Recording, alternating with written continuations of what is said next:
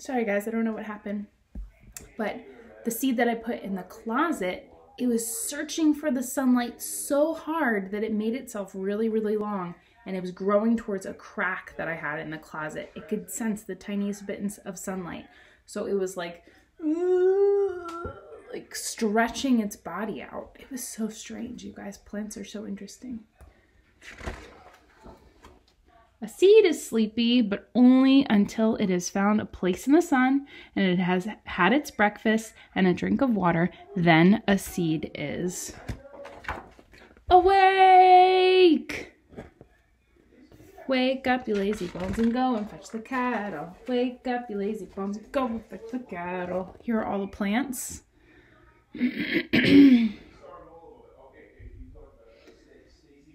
And I don't know if you guys know this, but I really like plants. Me and Mrs. Florio love plants. And so I've been loving being out here in the woods and looking at plants. And I wanted to show you guys some really cool things. Oh, I just realized I didn't do screen share.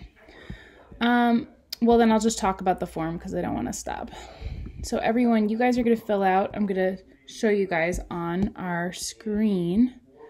Um, So I'm gonna, so you guys are gonna invent a plant. And on one side of the paper, it says plant, and on the other side, it says seed.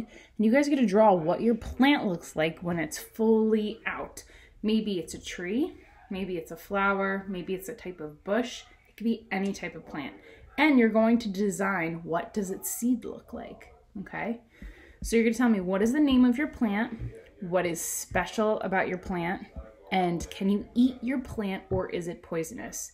What will happen if you eat your plant? So, some plants are really poisonous, and if you eat them, maybe your throat will close up, or maybe you'll grow spikes out of your hands, or anything can happen because guess what, friends?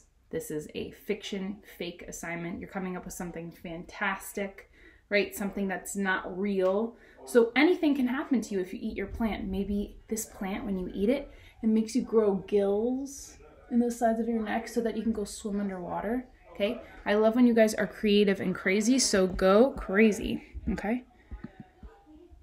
Oh, I think my sister's here. This is so exciting. Okay. Love you guys. Have a great day. Bye.